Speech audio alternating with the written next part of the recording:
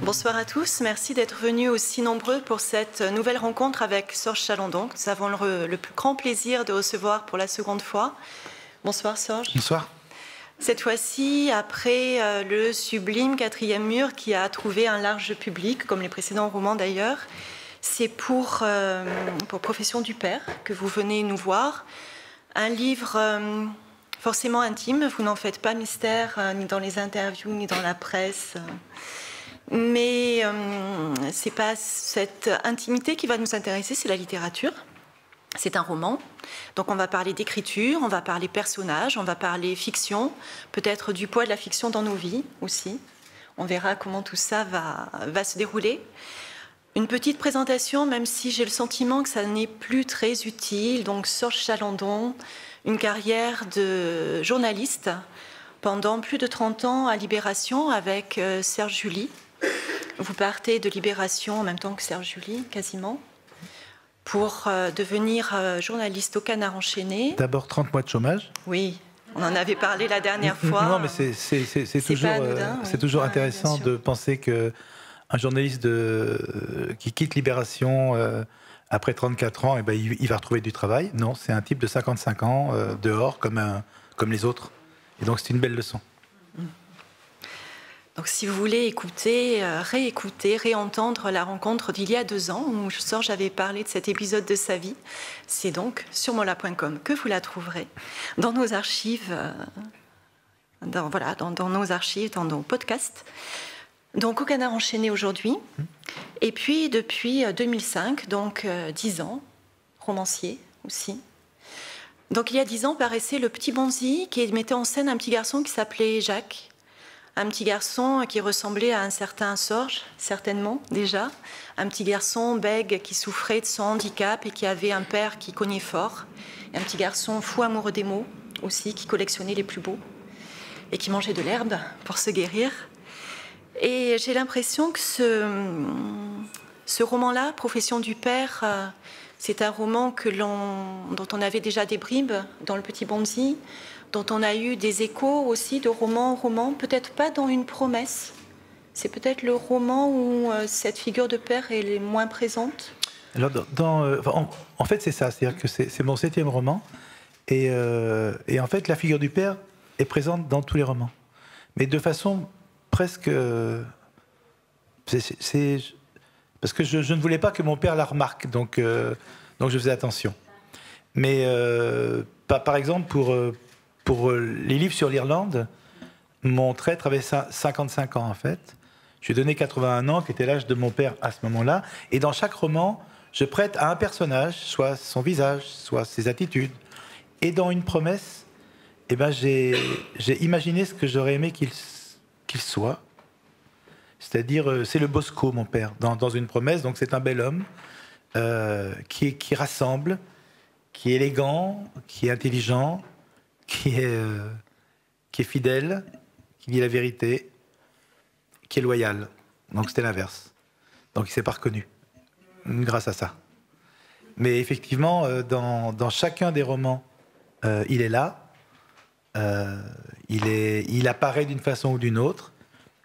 Et sa mort, en mars 2014, m'a aidé à écrire ce roman-là, où cette fois-ci, il apparaît dans toute sa plénitude, disons. Ce sont des romans qui tous, euh, à mon sens, euh, dites-moi si je me trompe, ont été des échos à des blessures personnelles.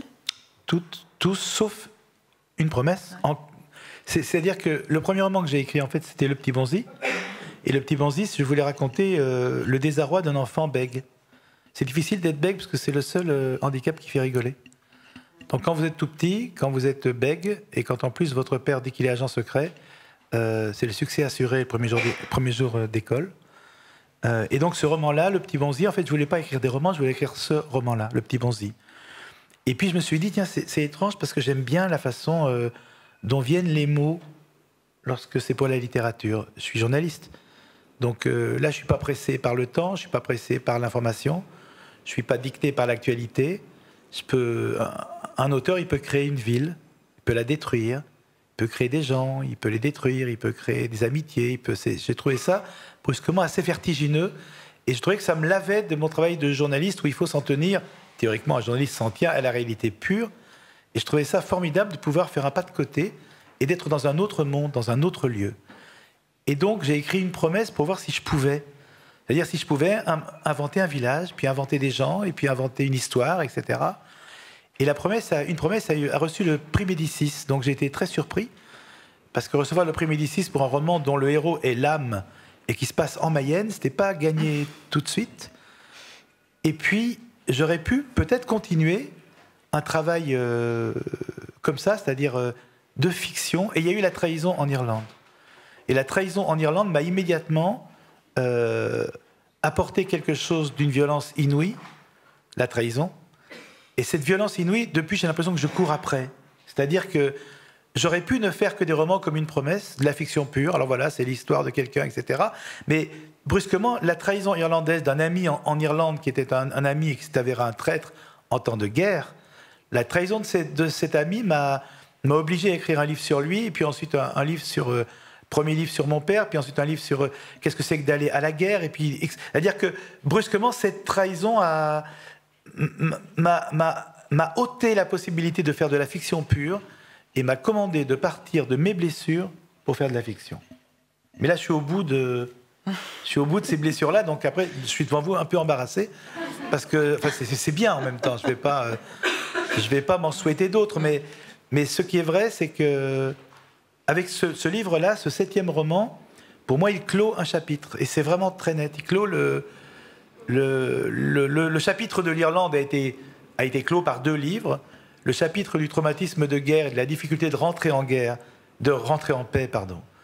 Euh, c'est terminé avec l'écriture du quatrième mur.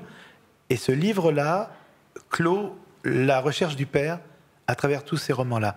Cette recherche-là, elle est finie, je ne vous embêterai plus avec, c'est promis.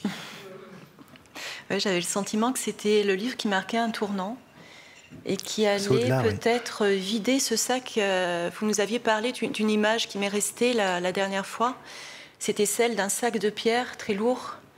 Et chaque lecteur prenait une pierre dans le sac et vidait le, ce sac de, de C'est pas lui qui la prend, c'est moi qui mm. lui donne. C'est un cadeau empoisonné.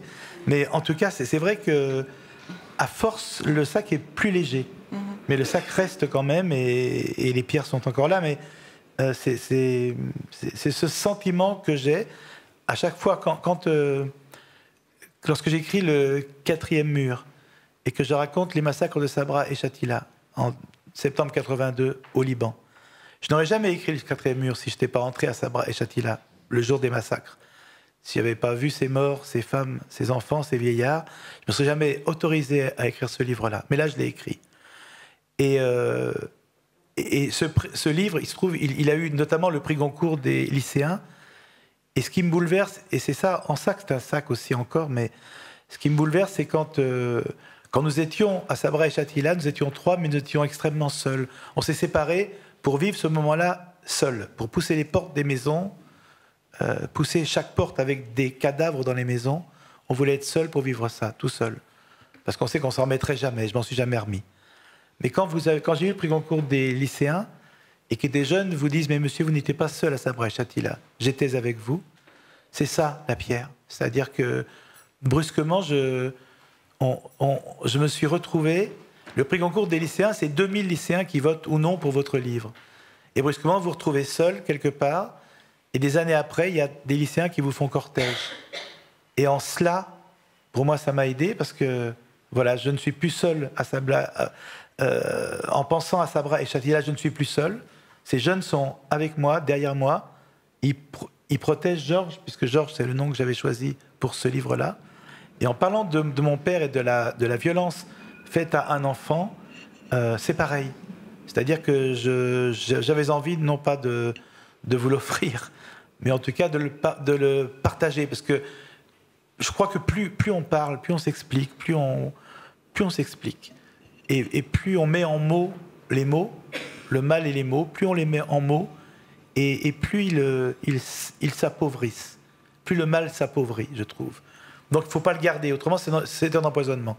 J'ai l'impression que je suis empoisonné, j'ai l'impression que j'ai quelque chose qui coule en moi qui est, qui est toxique. Et quand je parle de ça, ou quand j'écris ça, et quand des gens le livrent, et quand on en débat ensemble, et quand des gens viennent me dire, mais j'avais un père comme le vôtre, moi, ça me fait un. C'est pas que ça me fait un bien fou, mais je. Voilà, c'est cette impression, ce sentiment de ne plus être seul face à un désarroi. Alors, justement, justement c'est un, un roman qui commence par un chapitre qui s'appelle Recueillement le jour de l'enterrement du père d'Émile. De la crémation, pour être plus précis. Oui, exactement, de la crémation, le jour mm. des funérailles, mm. avec euh, ce petit couple-là, euh, mère et fils, seuls, et qui finit par l'héritage. Oui. C'est comme si c'était. Euh, enfin, moi, je l'ai vu comme deux bornes qui. qui marquent, un, qui entourent un, moment longtemps vécu dans la solitude, ces moments qui étaient, alors pas dans la réalité, mais encore une fois, j'ai pas trop envie. Enfin, je voudrais qu'on parle du, roman plutôt, même si euh, la porte est ouverte pour autre chose, évidemment. Mais deux bornes, donc, qui marquent un temps qui est longtemps vécu dans la solitude, dans l'impossibilité de dire ce qui se passe dans ce petit monde clos où personne ne rentre. Parce que je, je, je, ne sais pas si, si, vous avez lu le livre ou pas encore, mais en, tout cas, on, voilà, c'est une, une famille qui est de l'ordre de la secte de la secte dans le sens où c'est un lieu clos. C'est un lieu clos, les portes sont closes, les fenêtres sont, sont closes aussi, on, on aère peu, la lumière rentre peu, personne ne rentre surtout. Il n'y a, a, pas de vie. Il y a...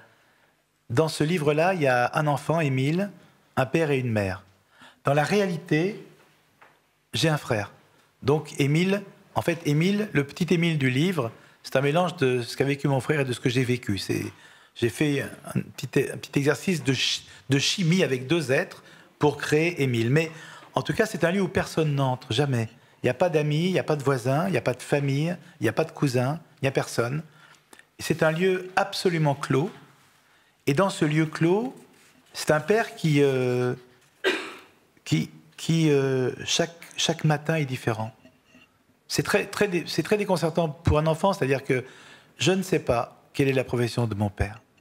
Émile ne l'a jamais su, et moi, devant vous aujourd'hui, euh, après sa mort, je ne le sais toujours pas. Donc le problème, c'est que l'enfant, Émile, a affaire à un père qui non seulement n'a pas de profession, mais qui les a toutes.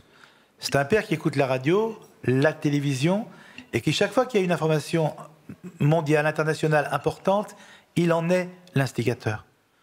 Et le petit garçon croit son père, parce que c'est difficile de ne pas croire son père lorsqu'on a 12 ans. Et donc, euh, il entend par exemple que le franc lourd va être mis en, circulation, le nouveau franc, et il dit Ah, enfin Pinet m'a enfin écouté. Et donc, euh, chaque fois qu'il se passe quelque chose, l'enfant est persuadé que son père est à l'origine de tout. Et donc, ça, crée un, monde clos, ça crée un enfermement absolu. Euh, personne ne met en doute ce que dit le père. L'enfant ne le fait pas parce qu'il croit le père, et la mère ne le fait pas parce qu'elle craint le père. Donc voilà, la, base du livre, c'est ça. C'est un homme qui, euh, qui est un metteur en scène, en fait. Une sorte de metteur en scène, l'homme, le père, qui met en scène sa vie, celle de ses proches, et qui, et qui chaque fois change de scénario. Lui seul connaît le scénario, lui seul sait jusqu'où il, il ira. Mais un, jour, il est voilà, il est professeur de judo. Le lendemain, il est parachutiste. Il a évidemment sauté sur Dien Bien Phu. Euh, il a conseillé De Gaulle beaucoup jusqu'à l'Algérie, parce qu'à l'Algérie, De Gaulle a trahi donc euh, il va le combattre. Il est pasteur, pasteur pentecôtiste ou presbytérien, ça dépend. Il a une toge. Le lendemain, il est professeur de judo. Donc sur la plage arrière de la voiture, il y a, un kimono et une ceinture noire. Il y a ceinture noire 13e dan qui n'existe pas. C'est-à-dire que. Et l'enfant vit dans, ce monde-là où brusquement, euh, il pense que tout est vérité. Donc il n'y a, a pas, même pas le problème de la vérité ou du mensonge. Tout est vérité. C'est l'adulte, ce qu'Émile est devenu, ce que je suis devenu, qui a dû être confronté à ce qu'était la vérité et le mensonge. Donc c'est bien plus tard, en fait, bien plus tard, pas tellement que ça, parce qu'il il suffisait de sortir de la secte, de s'échapper comme on s'échappe de prison. C'est après qu'Émile s'est rendu compte, ou que je me suis rendu compte, que tout ça était de la fantasmagorie pure. Mais la violence qui est faite à l'enfant, il y en a deux sortes. Il y a la violence physique, que l'enfant immédiatement ressent, parce que est d'une violence folle, mais celle que je ressens le plus maintenant, beaucoup plus, c'est la violence des mots, la, violence de l'incertitude, la violence de cette profession qui n'existe pas, la, violence de, de comment on fait, comment on fait pour grandir, pour s'épanouir, comment on fait lorsqu'on n'a pas de socle, lorsqu'on n'a pas de traces, lorsqu'on n'a rien qui puisse nous relier à la réalité? Et cette violence-là était finalement beaucoup plus dure que la violence des coups. La violence des coups, depuis euh, Folcoche ou depuis, depuis au point, c'est assez banal. Je n'ai pas rajouté un livre de plus sur la violence des coups portés à un enfant, mais un père comme ça, c'est très rare. C'est très particulier. Et c'est lui le vrai héros, si je puis dire, de ce livre-là.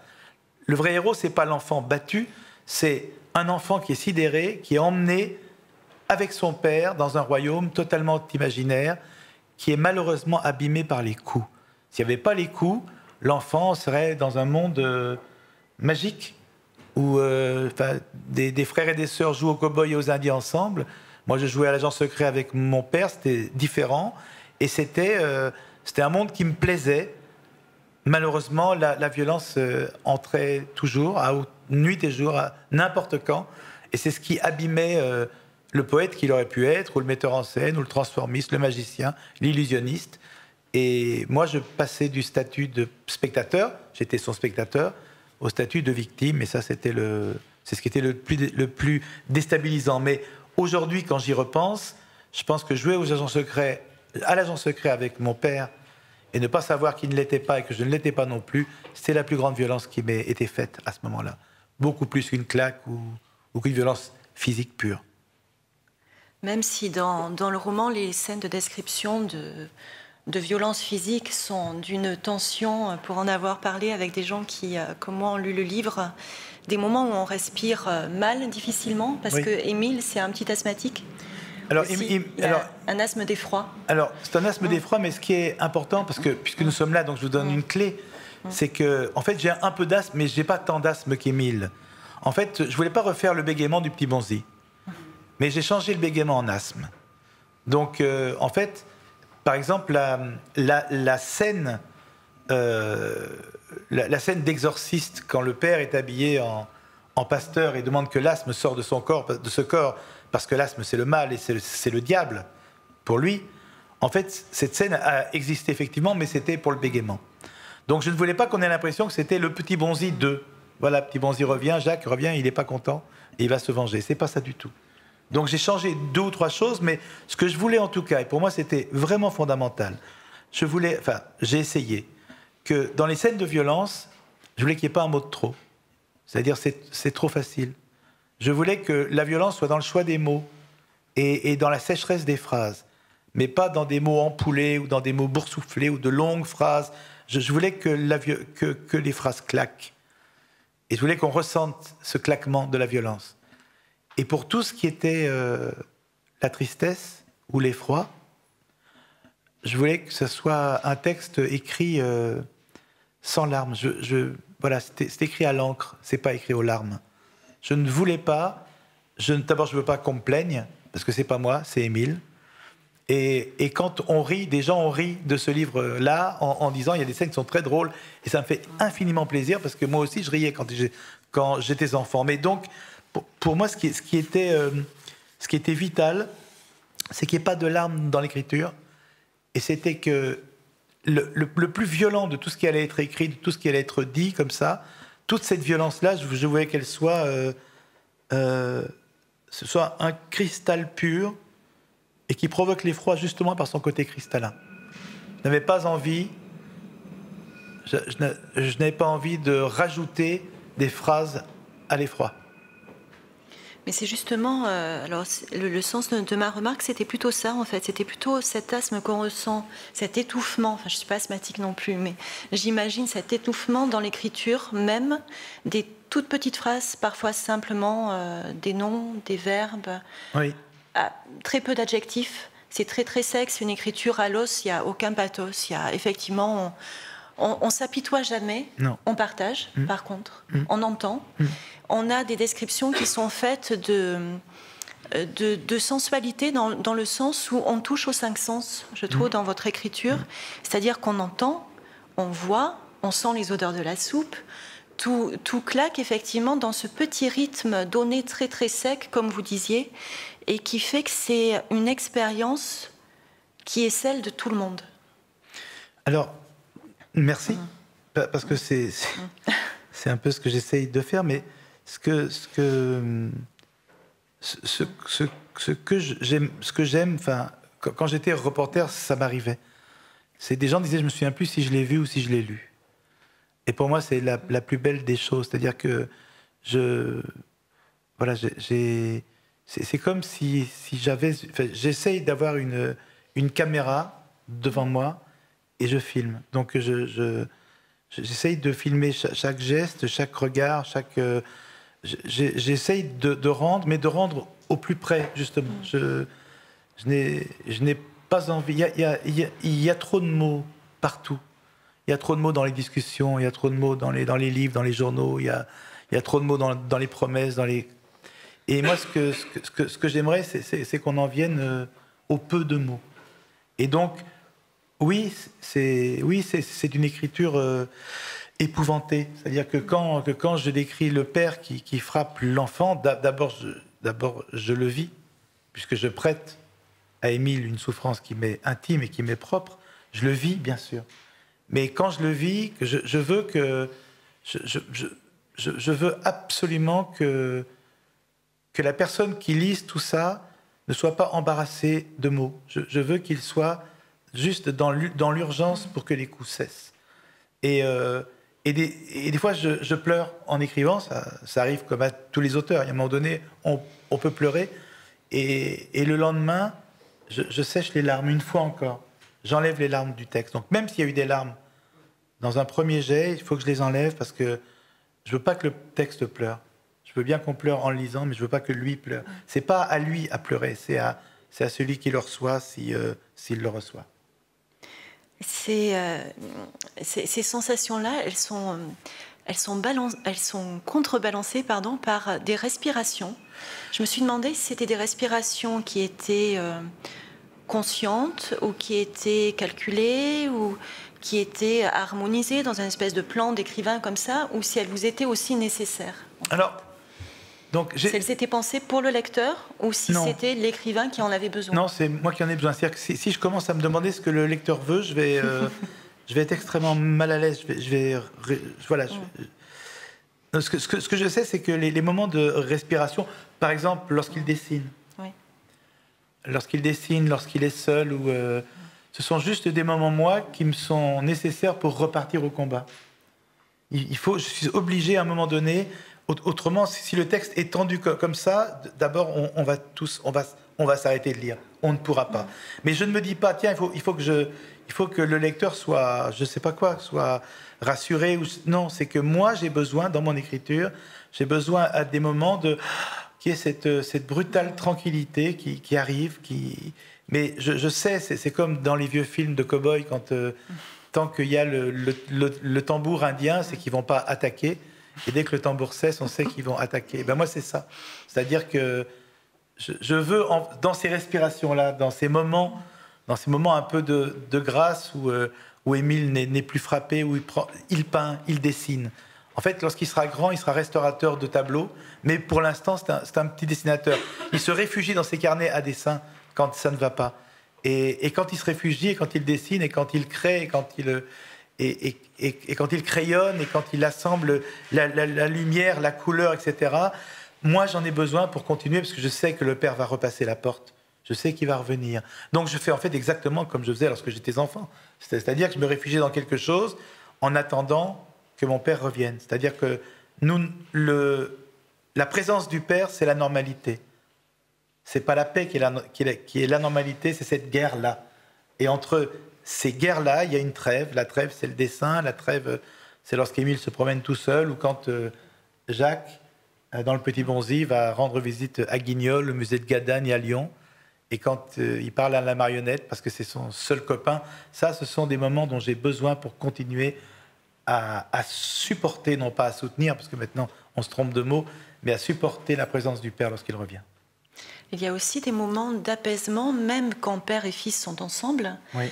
Il y a un moment où, euh, où André Choulan, donc le père, confie à son fils Émile des missions dans la ville de Lyon, puisque euh, il faut soutenir l'OAS. Donc le petit Émile sur le chemin de l'école va aller écrire OAS à la craie le plus haut possible pour pas qu'on sache, qu'on sache que c'est un enfant.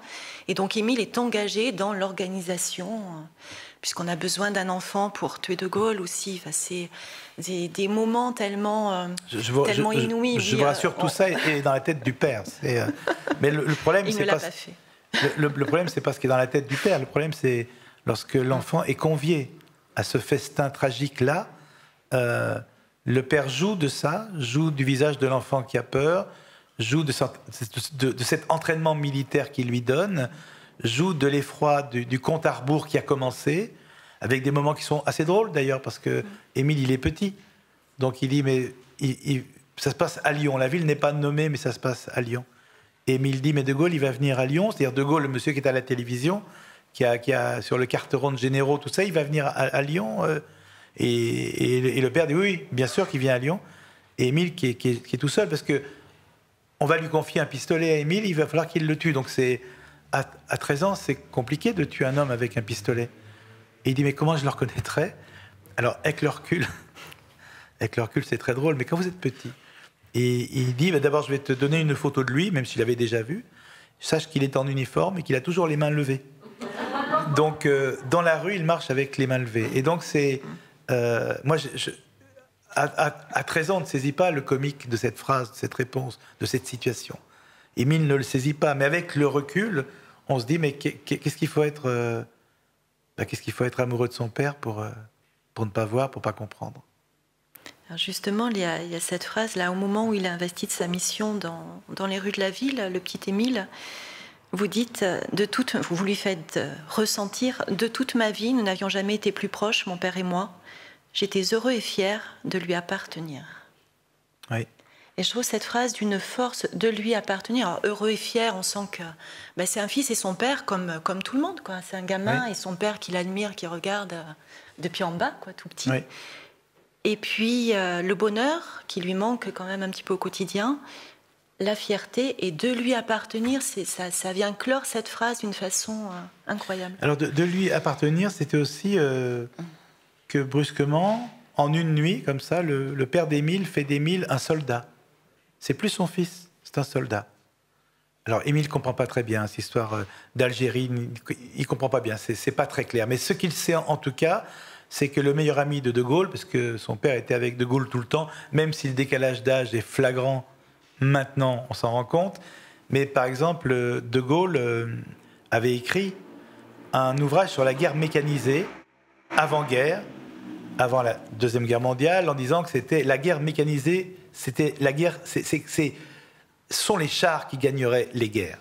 Et évidemment, euh, l'arrivée des Panzers lui a donné raison, mais trop tard. Et eh ben, par exemple, c'est le père d'Émile, il avait 17 ans, qui a envoyé ce, ce, petit livre à De Gaulle, ses notes, parce que le père d'Émile savait que la guerre mécanisée seule gagnerait les guerres.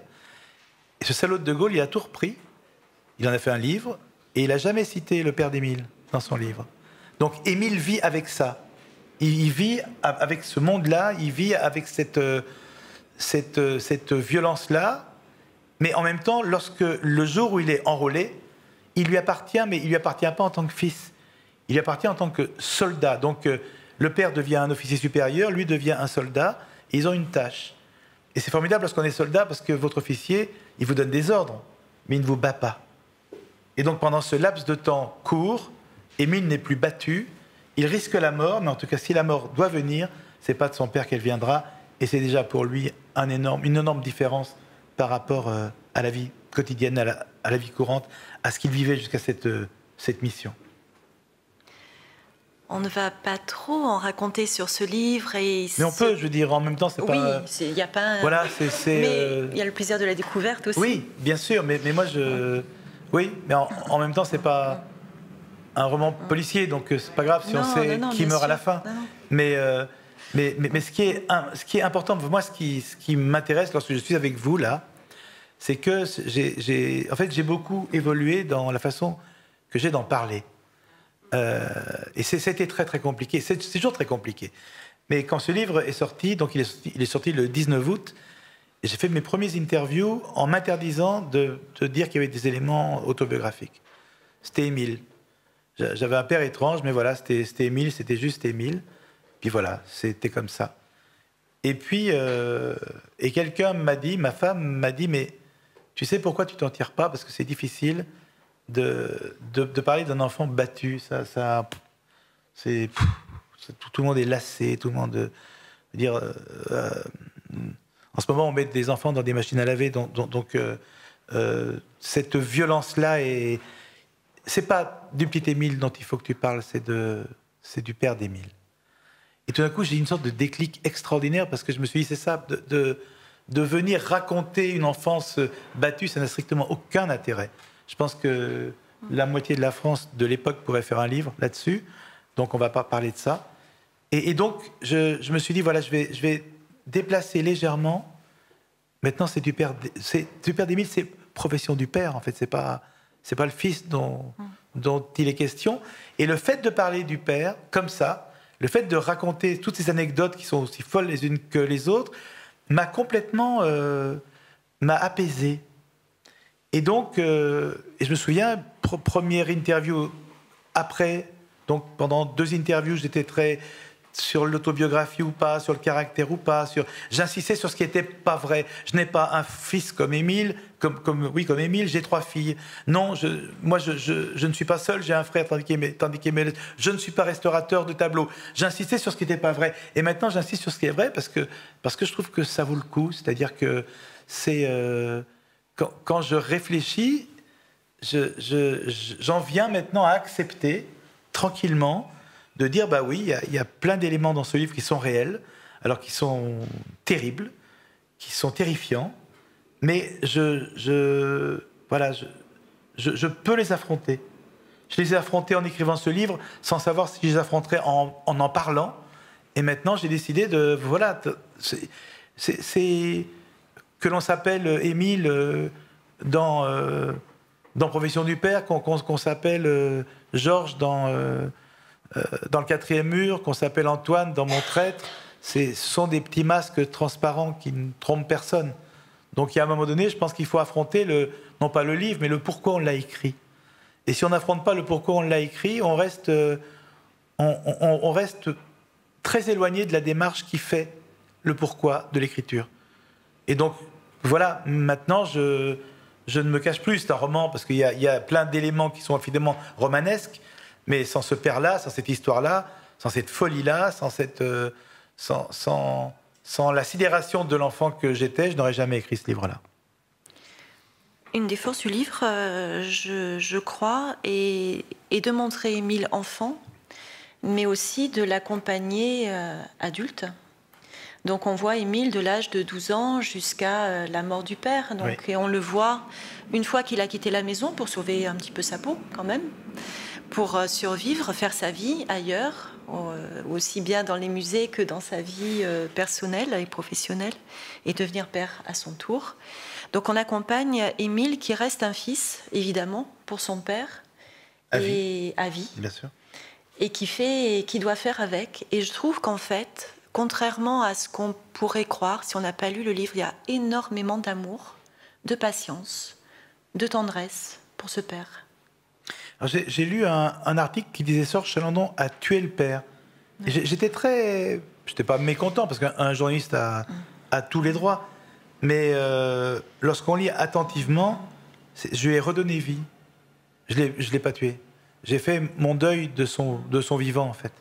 Et, euh, au contraire, je le, je, le remets, euh, voilà, je l'ai sorti de sa boîte et j'ai rajeuni. Je suis devenu tout petit et je nous, ai fait jouer ensemble. Alors, évidemment, il y a, toute, la, violence qui accompagne euh, tout ça, mais en même temps, euh, j'étais en colère quand j'ai quitté la maison. Je suis resté en colère longtemps de ce que j'avais vécu. Maintenant, je suis juste triste. Je suis pas triste de la mort, parce que la mort est quelque chose qui, rime avec la vie, mais je suis triste du rendez-vous manqué. C'est-à-dire, c'est, pour, moi, c'est, euh, dommage moi, j'aurais aimé vraiment qu'il, euh, bah, comme, comme, comme Émile, qu'il joue avec le fils d'Émile, qu'il joue avec mes filles, euh, qu'on puisse faire des soirées. des, des journées, qu'on puisse avoir des repas de famille. Je ne sais pas ce que c'est qu'un repas de famille. Jamais eu de repas de famille. J'ai créé une famille pour avoir des repas, mais, mais jamais. Euh, c'est une maison vide. La table n'a jamais été mise que pour trois dans le livre et pour quatre dans la vérité. Personne n'a jamais passé notre seuil, aucun ami, aucun de mes copains de l'école, personne n'est jamais rentré dans, dans cette secte-là. Jamais personne. Et je trouve ça dommage parce que, alors, ils venaient d'un autre temps aussi. Donc, euh, je pense qu'ils ont été, euh, je pense qu'il y a eu de la maltraitance aussi en amont. Donc, on reproduit souvent ce que je, ce que je ne fais pas, fort heureusement. Mais je, suis passé grâce à ce livre, je pense. Grâce à ce livre, je, suis passé de la colère au deuil de ma rancœur. J'ai plus de, plus de rancœur. C'est juste, je, me dis quel, quel formidable rendez-vous manqué. Et aussi, j'ai manqué un rendez-vous avec une chose qui est fondamentale, avec mon socle. J'ai pas de socle. Quelle est la vérité? Quel est le mensonge? Où est le bien? Où est le mal? Il a, il, a, fallu que j'apprenne ça sur le tas et sur le tard. J'ai pas eu un, père et une mère qui m'ont qui m'ont enseigné euh, bah, comment se comporter dans la vie, comment. Euh, il n'y avait pas de. Alors ça, c'est pas grave, ça arrive souvent. Il n'y avait pas de, tendresse. J'ai mis du temps à connaître la chaleur d'une peau, euh, une douceur, un mot gentil, un regard. Pour moi, c'est des choses qui sont venues après, bien plus tard. Une fois que j'ai quitté le labyrinthe, une fois que j'ai quitté le labyrinthe, je me suis aperçu que dehors, il y avait du jazz, il y avait de, il y avait de la lumière, il y avait, il y avait de la beauté, il y avait du soleil. Je me suis aperçu que, bah, les Noirs étaient, euh, étaient égaux aux Blancs, ce que je ne savais pas. Je me suis rendu compte que tous les Arabes n'avaient pas, forcément un couteau dans la poche, que tous les Juifs n'étaient pas coupables, que les garçons et les filles étaient égaux. Mais ces choses-là, je, je, l'ai appris seul. C'est-à-dire que moi, je, je suis sorti de là sans bagage, sans éducation, sans rien, il a fallu que brusquement, le monde dans lequel je me retrouve m'apprenne ça, m'éduque, m'inculque ça. En fait, mon, père, ça a été le monde d'après. Mon père, ça a été euh, la, découverte, euh, la découverte du journalisme, du militantisme, des, autres. J'ai découvert les autres à l'extérieur de la maison. Les autres n'ont pas été autorisés à pénétrer à l'intérieur, donc je suis sorti pour les voir. Ils ne sont pas venus à moi, je suis allé à eux dans, leur diversité, mais c'est à ce moment-là que je me suis dit, mais quel est... Euh, mais dans quoi je vivais? Quel était ce monde-là? Et j'y suis retourné très peu, comme Émile, et j'y suis retourné euh, jusqu'à la fin, comme Émile. Mais par exemple, euh, contrairement à Émile, lorsqu'il a été euh, interné, je suis pas allé le voir. Je suis pas allé le voir. Le médecin m'a appelé, il m'a dit, vous savez, c'est, maintenant. J'ai dit non, c'est fait. Nos adieux sont faits. Et nos adieux étaient faits. Il y a hum, pas mal de personnages dont on n'a pas parlé et dont on n'aura pas le temps de parler, mais dont vous irez voir si ce n'est pas déjà fait. La mère? Lucas, euh, je vais y venir, bien sûr. Lucas, Ted, l'excellent personnage de Ted, donc inventé par, euh, par le père d'Émile, qui est un agent secret euh, pour lequel Émile doit bien travailler, doit être parfait. C'est un membre de la CIA, c'était lui qui était chargé de la protection de Kennedy, et malheureusement, c'est lui qu'on voit sauter sur la, sur la limousine euh, en tirant Jackie en arrière. Le problème, c'est que mon père m'avait raconté que Ted n'avait qu'un bras. Euh, et, quand j'ai vu la limousine, je me suis dit, mais, il a deux bras, là. Mon père m'a regardé, il m'a dit, tu veux pas savoir les progrès de la médecine. Et donc, et, ces, petites choses suffisent à... Mais Ted, non, ce, qui, était assez terrible avec Ted, c'est que... Euh, donc je ne l'ai jamais rencontré. C'était mon parrain. Au bout d'un moment, c'est devenu le parrain Ted. Et euh, donc c'était, un bonheur parce que, parce que j'avais un parrain américain.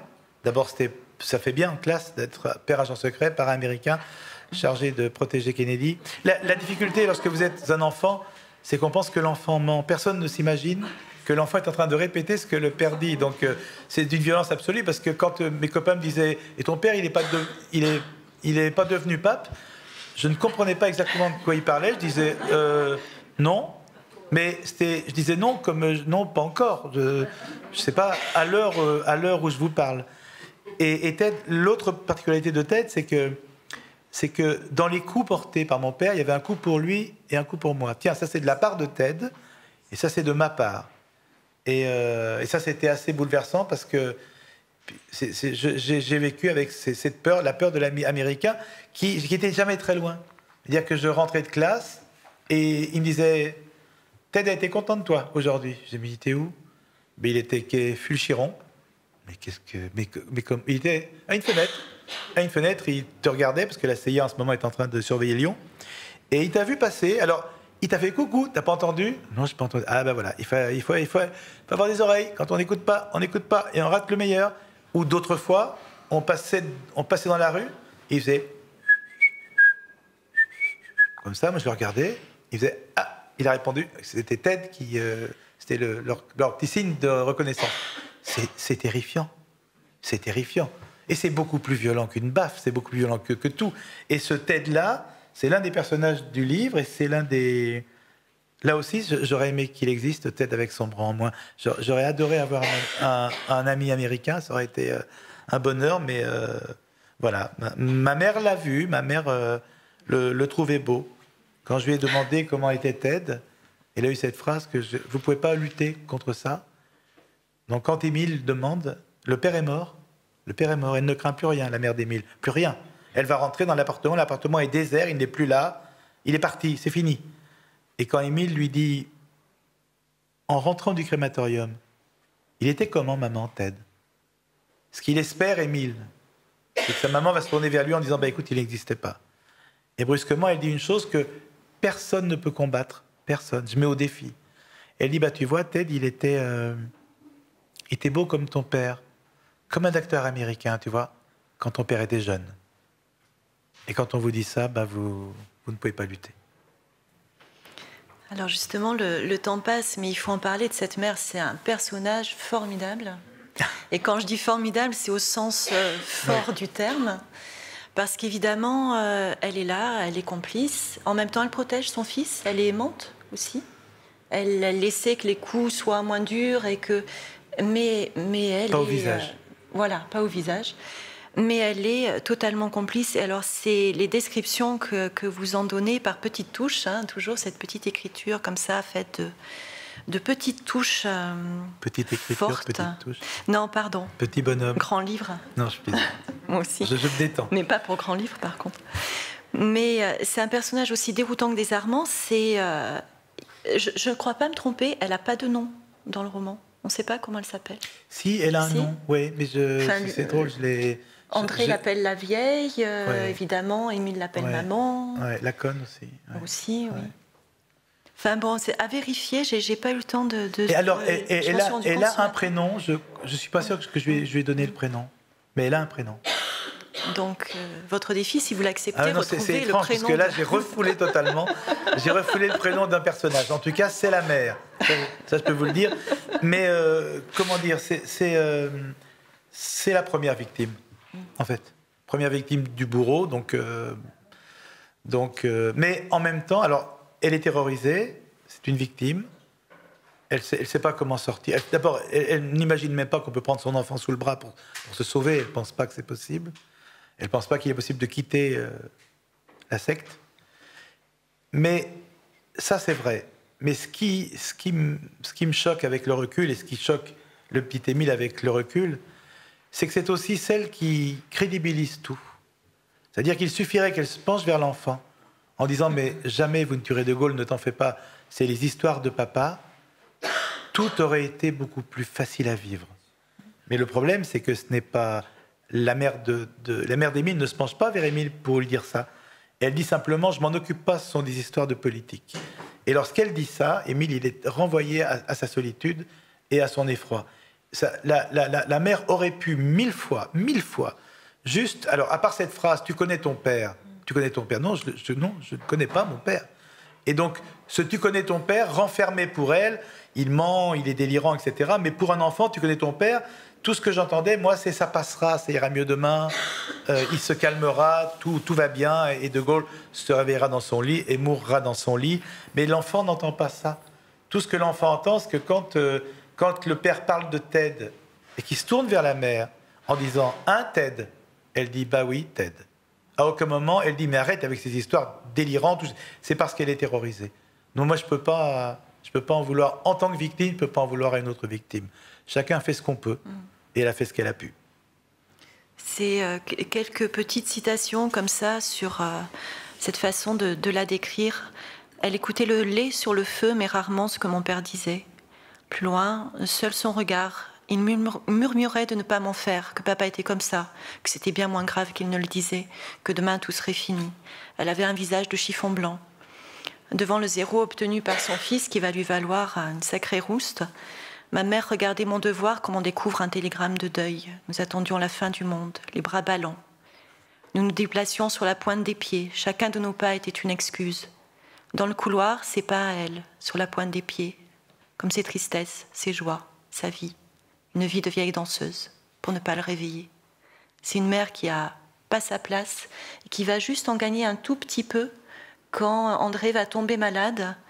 Vous dites, elle ne prenait pas sa revanche, mais un peu de sa place. C'est euh, vraiment un personnage magnifique. On a tendance, je trouve, un petit peu dans, dans les interviews à oublier. Il y a le père, la mère, l'enfant, le petit trio. Alors, en même temps, tous ceux qui, qui ont lu ce livre en veulent à la mère. Ah, pas moi. Ben, vous êtes la seule.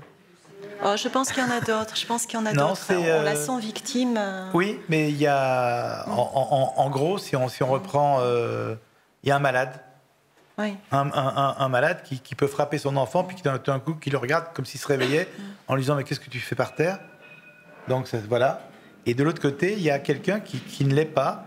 C'est une victime, et c'est vrai tout ça, mais elle, qui, voilà, qui, n'a pas protégé l'enfant, qui aurait pu. Moi, je, pense qu'une mère, euh, c'est pas, on, va pas, c'est pas ici qu'on va mhm. raconter ce que sont prêtes à faire des mères pour traverser l'océan mhm. dans la poche de Kobané, en guerre, etc. Mhm. son, son, son, enfant, jusqu'au bout, on le porte, on le, on le, protège de tout, de la fureur des hommes, de la violence des hommes, on le protège de, de la vie, de la mort, de la guerre, de tout. On le protège, son enfant.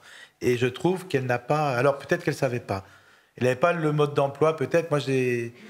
Il y a, peut-être, puisque je l'ai prêté à Émile, mais je crois que c'est l'une des indications aussi qui est très, bouleversante.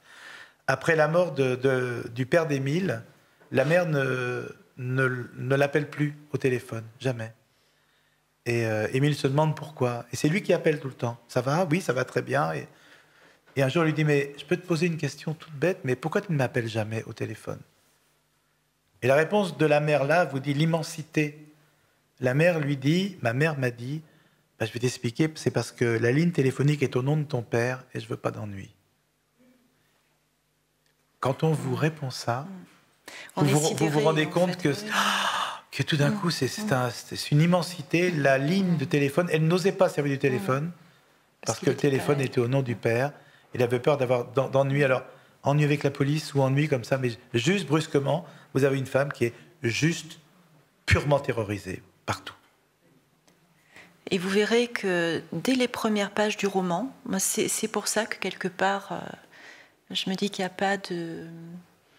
c'est pas à moi de le dire, mais il n'y a pas de, rancœur et il y a, beaucoup de, bienveillance et de tendresse. C'est que le jour euh, des funérailles au crématorium, il y a ce geste de, prendre sa mère par le, le, cou pour l'emmener voir les poissons qu'elle ne va pas voir parce qu'elle n'a jamais rien vu. Les carpes. Mais il y a les carpes. Mais parce qu'elle est muette aussi. Mais c'est un geste d'une immense tendresse. Ils sont euh, tous les deux l'un à côté de l'autre, presque peau contre peau, mais j'ai trouvé cette scène et, quand, très belle. Euh, et quand la, la, responsable des pompes funèbres euh, dit à la maman d'Émile, vous venez pour un défunt, elle dit non, je viens pour mon mari. Et je trouve que c'est une phrase... Et quand il dit aussi un geste peut-être pour le défunt, parce que Émile et, sa maman sont, juste assises, sont assis euh, au premier rang d'une salle grande comme ça, mais vide, déserte. Les, les, les, sont plus nombreux que la famille cette fois-ci. Et quand euh, donc nous sommes assis devant le cercueil, les croque-morts sont debout, le cercueil est là, il va partir à la crémation, personne ne bouge, ni ma mère, ni moi, personne. Tout d'un coup, il y a un croque-mort qui dit euh, un, geste peut-être pour le défunt.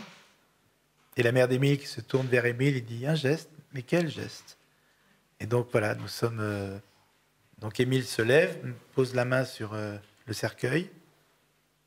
Sa mère se sent obligée de, venir. Il prend la main de sa maman, il le pose sur le cercueil, il met la main sur la main de sa maman. Et elle le regarde et elle dit, regarde le cercueil lui dit, tu es sûr que c'est lui? Je le voyais plus grand. Et là, vous êtes dans, dans une éternité. euh, vous pouvez pas en vouloir. Vous pouvez pas être en colère. Vous, vous pouvez pas être méchant. Vous pouvez rien. Vous juste, euh, voilà, c'est vous assistez à un crépuscule. Et ce crépuscule-là, vous l'accompagnez du, du mieux que vous pouvez. Et moi, j'en suis là. Merci, Sorgi. Merci à vous.